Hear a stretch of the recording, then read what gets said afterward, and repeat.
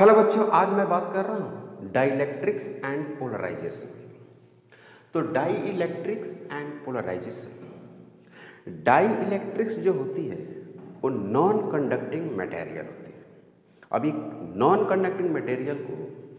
जब external electric field में रखा जाता है तो इसमें बहुत कम पोलरिटी इंड्यूस होती है इसका मतलब ये हुआ कि डाई इलेक्ट्रिक मटेरियल्स में फ्री इलेक्ट्रॉन बहुत कम होते हैं अगर बहुत ज़्यादा इलेक्ट्रिक फील्ड आप देते हैं बाहर से बहुत ज़्यादा एक्सेस अमाउंट में तब जाके उसमें कुछ पोलरिटी इंड्यूस होती है तो हेडिंग है dielectrics and polarization the effect of dielectrics the insulators in which microscopic local displacement of charges take place in presence of electric field are known as dielectrics ये ये कहना चाहता है कि जैसे कि कोई नॉन कंडक्टिंग मटेरियल है जिसको हम लोग डाई बोलते हैं जनरली नॉन कंडक्टिंग मटेरियल को ही हम लोग डाई बोल रहे हैं तो नॉन कंडक्टिंग मटेरियल को अगर आप एक्सटर्नल इलेक्ट्रिक फील्ड में रखते हैं तो उसमें बहुत कम अमाउंट में पोलरिटी इंड्यूस्ड होगा जैसा कि मैं लास्ट क्लास में बताया था कि अगर एक्सटर्नल फील्ड्स किसी मेटल पर आप देते हैं तो उसके बॉन्ड सभी क्या कर जाते हैं ब्रेक कर जाते हैं और ब्रेक करने के बाद कंप्लीटली चार्ज प्रोड्यूस कर जाते हैं और वो चार्ज एक्सटर्नल इलेक्ट्रिक फील्ड के ऑपोजिट में फोर्स लगाती है जिसके वजह से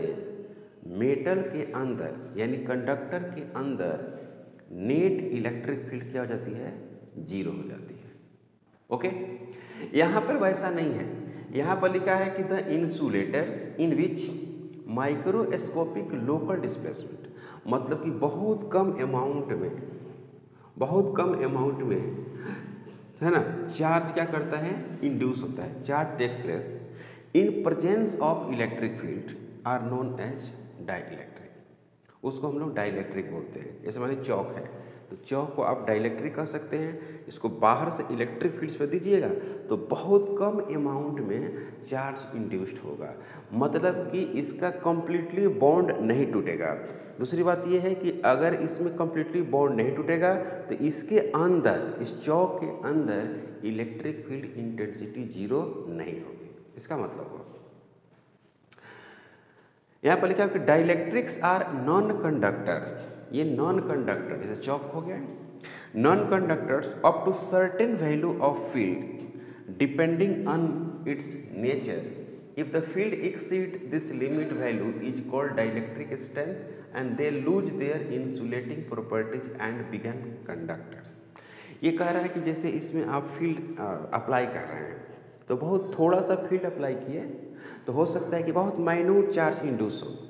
और ज़्यादा फील्ड अप्लाई करते हैं बहुत ज़्यादा फील्ड अप्लाई करते हैं एक ऐसा फील्ड का वैल्यू जिस पर ये कम्प्लीटली क्या कर जाए ब्रेक कर जाए उसको हम लोग बोलते हैं डाई इलेक्ट्रिक स्ट्रेंथ एक फील्ड का ऐसा वैल्यू बहुत ज़्यादा अमाउंट में जिस पर इस पर पड़े तो इसका बॉन्ड कम्प्लीटली क्या कर जाए टूट जाए तो इसको हम लोग बोलते हैं डाइलेक्ट्रिक स्ट्रेंथ तो ये लिखा हुआ कि dielectric are non conductors up to certain value of field depending on its nature if the field exceeds this limit अगर फील्ड को है ना इसके जो लिमिट है इसको सहने की जो क्षमता है उससे बढ़ा दिया जाए वैल्यू कॉल डाइलेक्ट्रिक स्ट्रेंथ और they lose their insulative behaviour अब ये अपना इंसुलेटिंग बिहेवियर को लूज कर देगा और क्या बन जाएगा कंडक्टर बन जाएगा मतलब कि इधर पूरा पॉजिटिव चार्ज इसके अपोजिट में पूरा निगेटिव चार्ज इंड्यूस हो जाएगा ये कहना चाहिए जैसा कि लास्ट क्लास में हमने बात किया था dielectric strength is defined as the maximum value of electric field that a dielectric can tolerant without breakdown है ना breakdown unit volt per metre होता है ये कह रहा है ना कि डाइलेक्ट्रिक स्ट्रेंथ हम कैसे डिफाइन करेंगे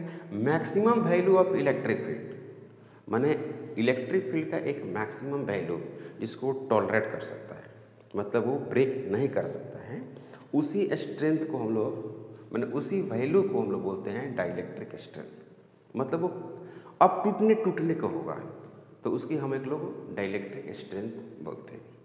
इसे मान लीजिए कि इस पर सौ न्यूटन का फोर्स हम लगा कर तोड़ सकते हैं सौ न्यूटन का फोर्स मतलब कि सौ न्यूटन का फोर्स लगेगा तो ये टूट जाएगा अब हम इस पर पाँच न्यूटन का फोर्स लगा रहे हैं है ना तो पाँच न्यूटन का फोर्स लगाए फिर छः लगाए सेवन लगाए इस तरह से हमने नाइन्टी लगाया फिर नाइन्टी फाइव लगाया फिर नाइन्टी एट लगाया फिर नाइन्टी नाइन लगाया और फिर ninety nine point nine nine लगाया और हंड्रेड पर टूटने वाला है तो ninety nine point nine nine dielectric strength कहलाएगा बात समझे इसमें इसका मतलब कि मैक्सिमम जो फोर्स है वो तो 100 न्यूटन पर ये टूट गया तो 99.99 ये सह सकता है है ना तो वो कितना टॉलरेंट कर सकता है है ना तो dielectric strength is defined as the maximum value of electric field that dielectric can tolerant without breakdown मतलब कि उसका बॉन्ड कंप्लीटली ब्रेक नहीं किया है अब थोड़ा सा अगर फील्ड का वैल्यू बढ़ा देंगे तो कंप्लीटली वो टूट जाएगा तो जो थोड़ा सा जो फील्ड बढ़ा रहे हैं है ना उससे जस्ट पहले जो कम मैक्सिमम फील्ड बढ़ा रहे हैं उससे जस्ट पहले का जो वैल्यू है उसको हम लोग बोलते हैं डाइलेक्ट्रिक स्ट्रेंथ अब देखिए डाइलेक्ट्रिक जो कांस्टेंट होती है वो कैसे और टर्म में डिफाइन होती है डाइलेक्ट्रिक जो कांस्टेंट होता है वो कई तरीक़े से हम लोग डिफाइन करते हैं इसको डाइलेक्ट्रिक कांस्टेंट के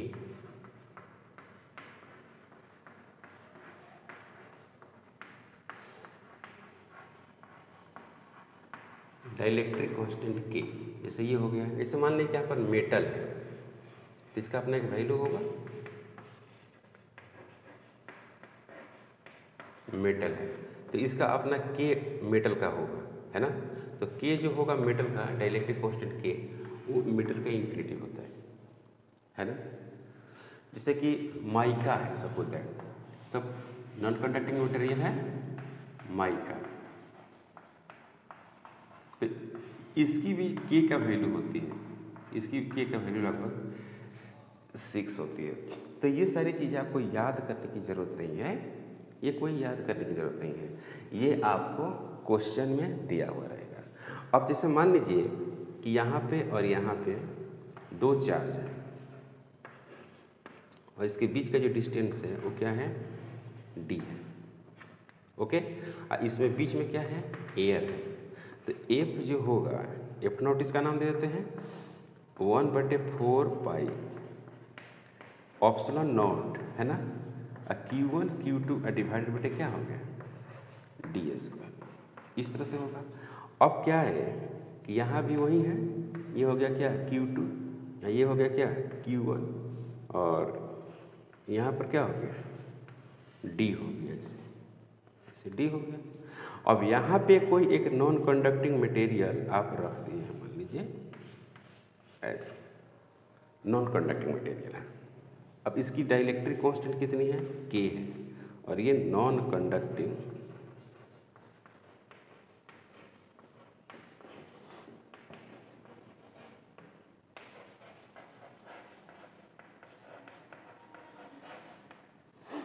non conducting material इस तरह से हम लोग रख दे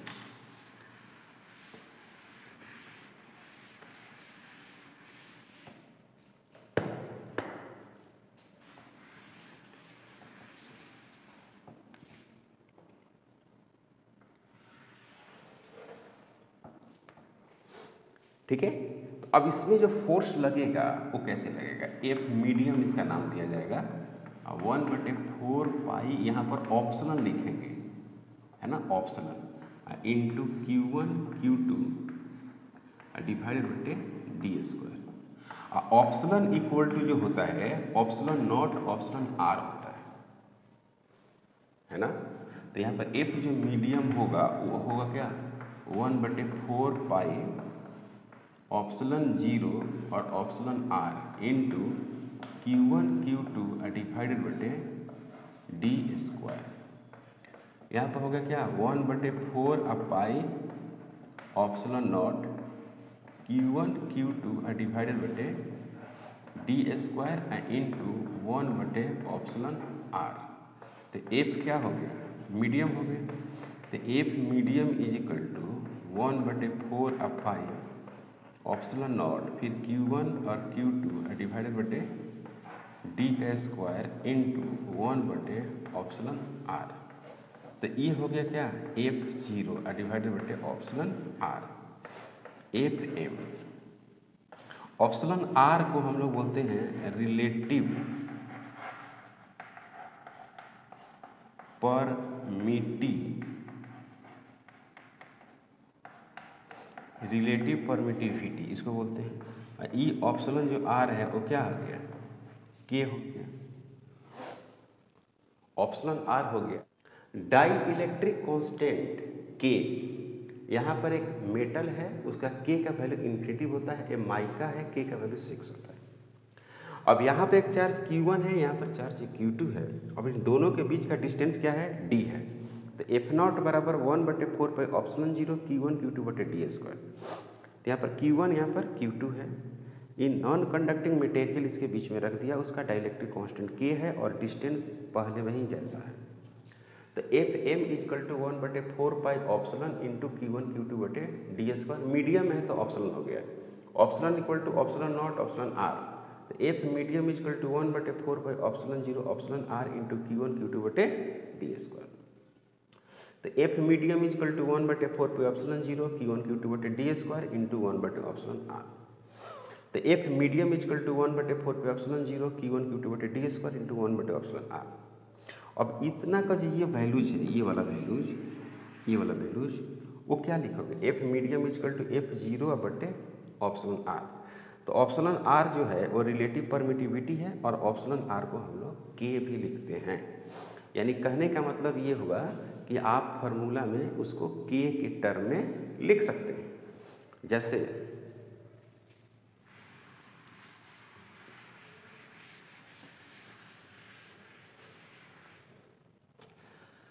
F M F M is equal to F zero divide बटे के तो के इज इक्वल टू क्या हो गया एफ जीरो डिवाइड बटे एफ एम तो ये है no unit and dimension no unit and dimension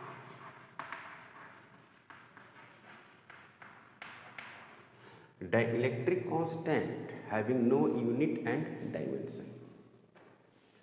dielectric constant having no unit and it is a number तो उसी तरह से यहाँ पर लिख सकते हैं कि नाउ इन अदर मीडियम और के का जो वैल्यूज है वो ग्रेटर देन क्या होगा वन होगा फॉर अदर के लिए फॉर अदर और के का वैल्यू एयर के लिए कितना होती है वन होती है ठीक है तो now in other medium in other medium force decreases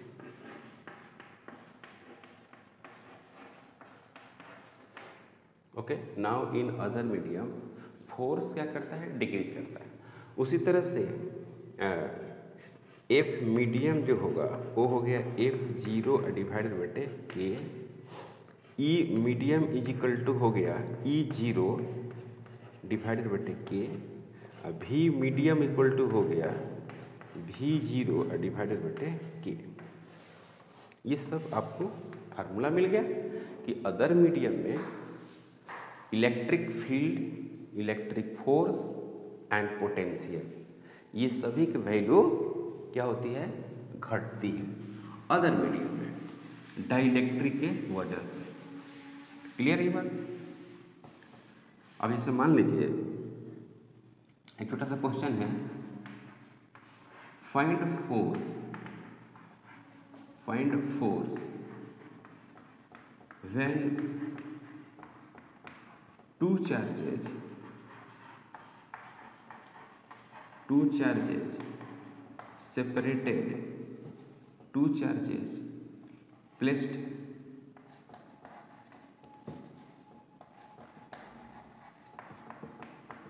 placed in between mica तो एफ नॉट जो है उसका वैल्यूज आपको जैसे कि यहाँ पर हो गया आपको क्यू वन ये हो गया क्या क्यू टू इसके बीच का दूरी कितना है डी है तो ये एयर में है और Q1 one is equal to Q two is equal to six microcoulomb और D is equal to three centimetre और जब माइका रखेंगे तो क्या होगा तो सबसे पहली बात कि इसका एयर का वैल्यू निकाल दीजिए F naught is equal to one by four pi epsilon naught और माइका का वैल्यू जो है के डाइलेक्ट्रिक टू सिक्स है ओके तो यहाँ पर हो गया क्यू वन क्यू टू और डिवाइडेड बटे डी स्क्वायर तो एफ जो जीरो होगा वो क्या होगा nine into ten to the power nine into Q one six into ten to the power minus six और six into ten to the power minus six और divided बटे D square three into ten to the power minus two इसका क्या होगा square होगा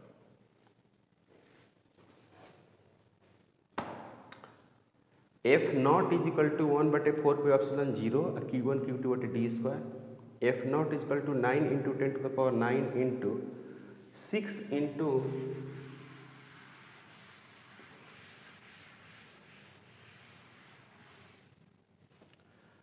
f naught f naught is equal to 9 into 10 यानी 9 into 10 to the power 9 into 6 6 six into six into ten to the power minus twelve और divided बटे nine into ten to the power minus four और ये और ये cancel हो जाएगा तो F zero is equal to F is zero equal to thirty six into ten to the power nine into ten to the power minus twelve into ten to the power four nine into nine plus four thirteen हो जाएगा तो thirty six into ten to the power thirteen into ten to the power minus twelve three six into ten तो ये हो गया क्या three six zero newton ये हो गया F zero F zero equal to three six zero newton ये हो गया वैल्यू जी अब यहाँ पर क्या करेंगे now when mica place now when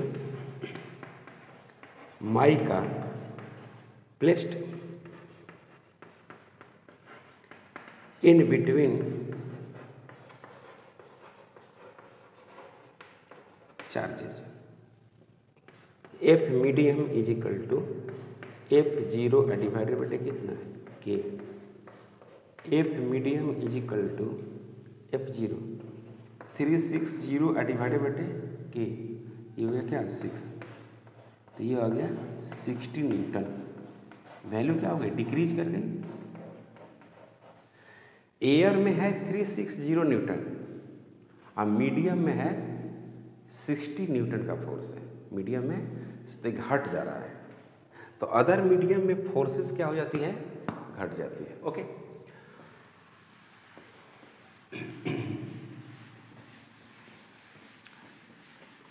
other concept की बात करते हैं जैसे मान लीजिए कि आप यहाँ पर मेटल रखते हैं मेटल रखते हैं लास्ट क्लास में ऐसा डिस्कशन मैंने किया था तो इस तरह से मेटल इसमें ऐसे रहता है plus minus plus minus plus minus plus minus यहाँ पर इलेक्ट्रिक फील्ड इंटेंसिटी जीरो दिया गया है अगली बार जो है इलेक्ट्रिक फील्ड की इंटेंसिटी का कुछ वैल्यू दे रहे हैं जैसे ई e है तो यहाँ पर हो गया क्या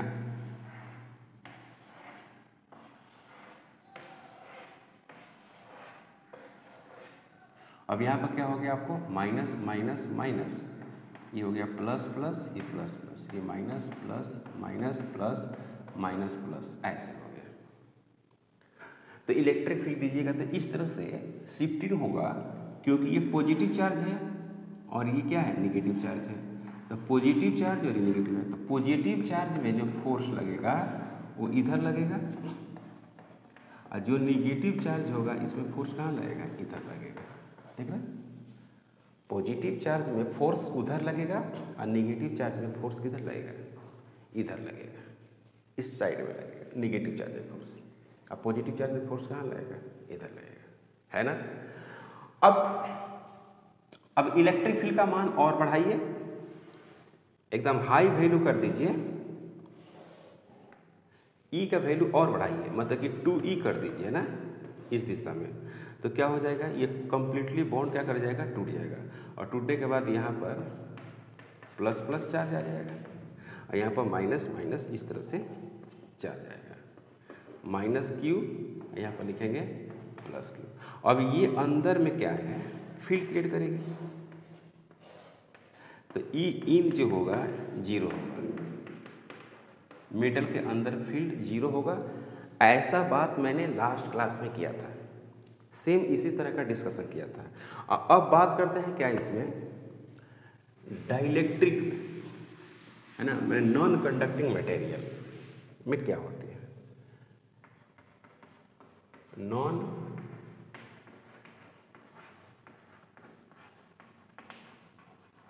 कंडक्टिंग मटेरियल तो नॉन कंडक्टिंग मटेरियल है तो उसके बाद डाइलेक्ट्रिक कांस्टेंट होगा उसके पास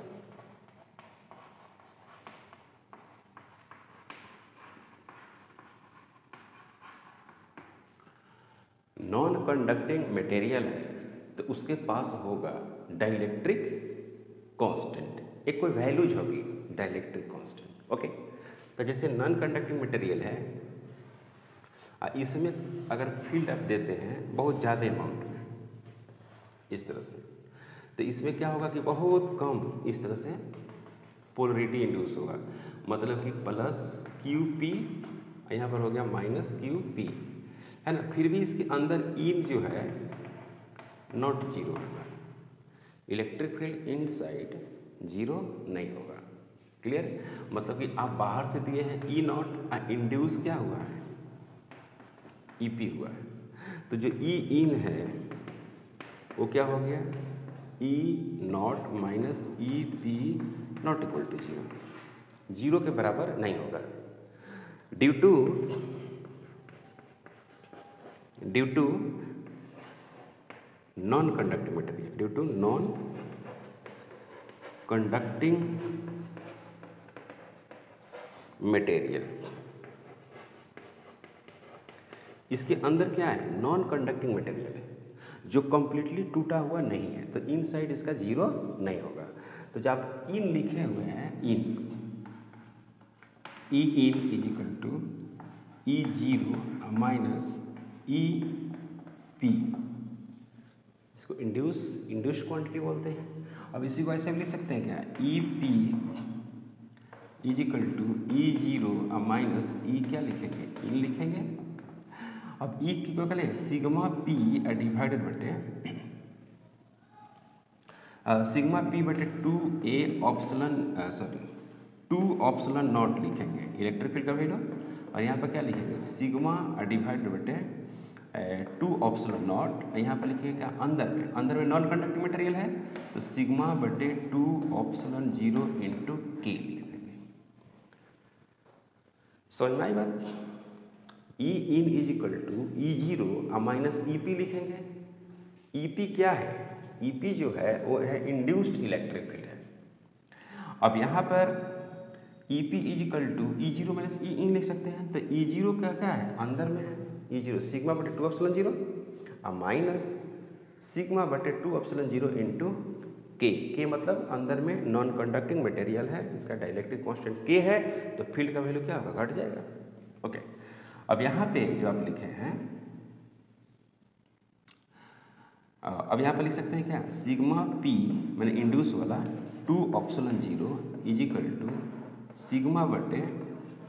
two epsilon zero one minus one बटे कितना के ऐसे लिखेंगे तो ये और ये कैंसिल हो जाएगा तो sigma P is equal to sigma one minus one बटे K induced surface charge density इसको बोलते हैं इसको बोलेंगे induced surface charge density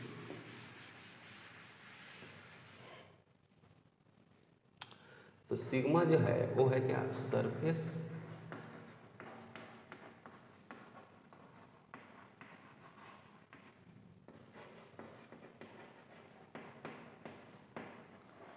surface charge density इसको पढ़ेंगे ओके और सरफेस टेंसिटी और सिग्मा पी को बोलेंगे induced surface charge density induced surface charge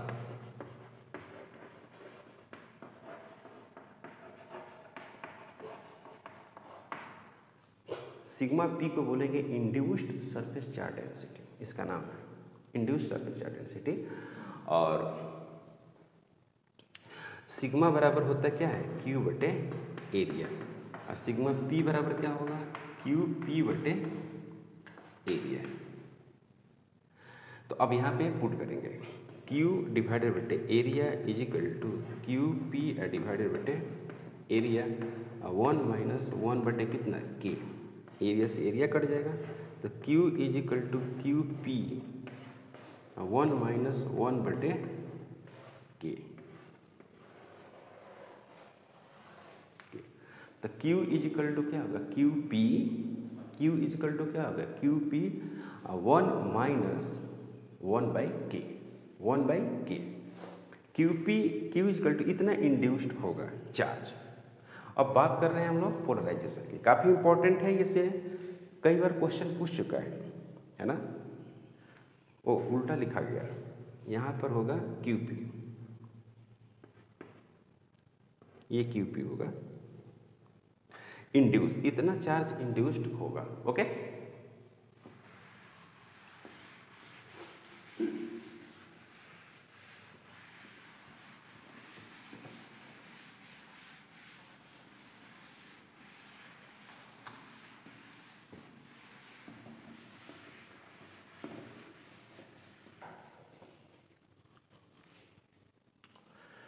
अब बात करते हैं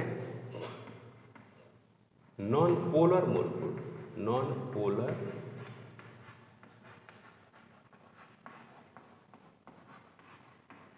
molecule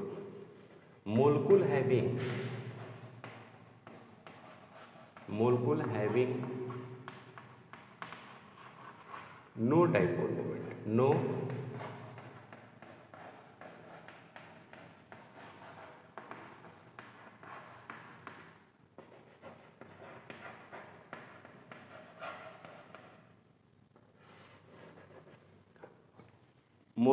having no electric dipole moment यानी इलेक्ट्रिक डाइपोल मोमेंट नहीं होगा नॉन पोलर मोलकुल तो molecule having no electric dipole moment electric dipole moment नहीं होगा molecule having no electric dipole moment जब इलेक्ट्रिक डाइपोल मोमेंट नहीं होगा तो वैसे में हम लोग क्या कहते हैं नॉन पोलर मोलकुल कहते हैं है ना मतलब कि no equal magnitude, no equal magnitude and opposite in nature,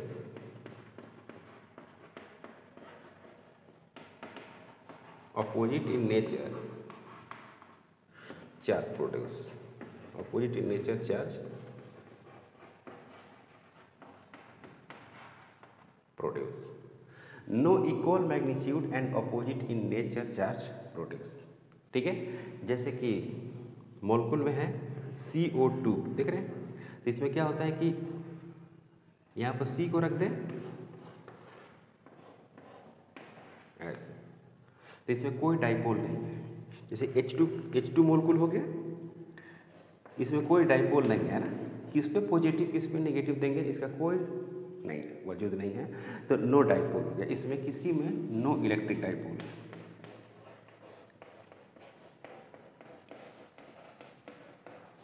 no electric dipole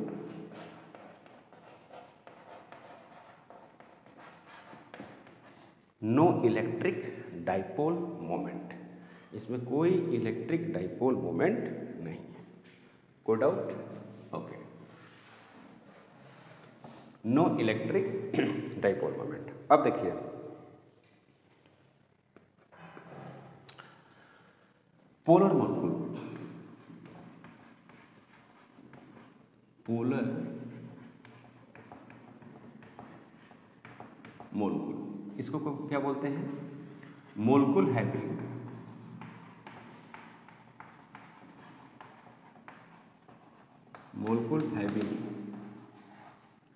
electric dipole moment है electric dipole moment molecule having electric dipole moment okay direction of electric dipole moment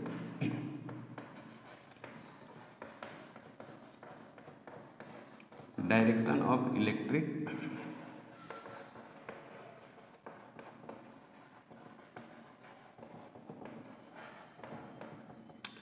direction of electric dipole moment direction of electric uh, dipole moment from from negative charge from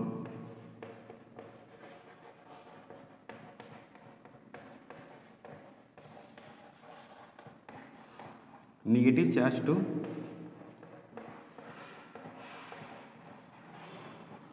positive charge direction of electric dipole moment from negative charge to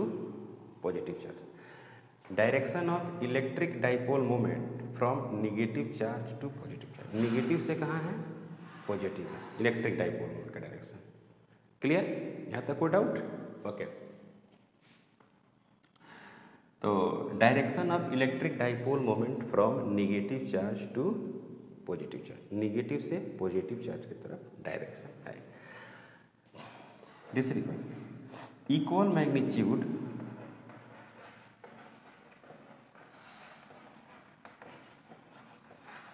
equal magnitude and opposite in nature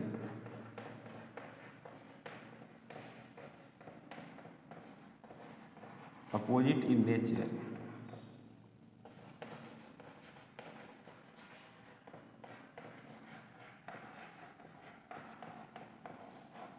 charge produce equal magnitude and opposite in nature charge produce charge का जो magnitude होगा वो equal होगा और उसका nature जो होगा वो क्या होगा अपोजिट होगा equal magnitude and opposite nature example में है एच सी एल एग्जाम्पल में आप लिख सकते हैं एच और सी एल तो यहाँ पर लिखेंगे तो एच क्या हो जाएगा प्लस क्यू हो जाएगा और सी एल क्या हो जाएगा माइनस क्यू हो जाएगा तो ये हो गया माइनस क्यू और ये हो गया क्या प्लस क्यू तो माइनस क्यू से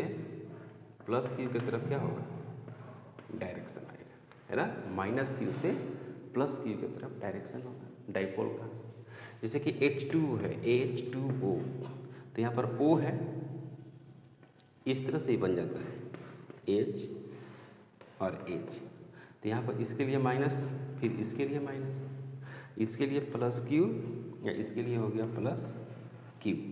तो ये बन जाएगा आपको इस तरह से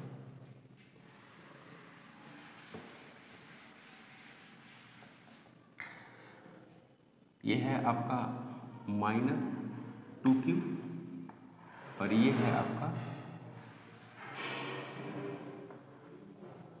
ये है आपका प्लस क्यू और ये है आपका प्लस क्यू तो एक टाइप तो बोल ऐसे आएगा पी इधर भी आएगा तो कितना आएगा पी ही आएगा और इसका वैल्यू अगर मान लेते हैं कि थीटा है दोनों के बीच का एंगल तो जो पी रिजल्टेंट आएगा जो P रिजल्टेंट आएगा वो कितना आएगा two P a cos theta by two ऐसा होगा क्लियर यहां तक कोई डाउट यहां तक कोई डाउट नहीं है तो आज हम लोग जो पढ़े हैं वो डायलैक्ट्रिक्स एंड पोलराइजेशन पढ़े हैं है ना एनसीआरटी e के अकॉर्डिंग पढ़े हैं और बोर्ड के लिए हमने पढ़ा तो आज का क्लास में यहीं पे स्टॉप करते हैं मिलते हैं नेक्स्ट क्लास में अगर आप हमारे चैनल पर नए हैं प्लीज़ सब्सक्राइब करें शेयर करें थैंक यू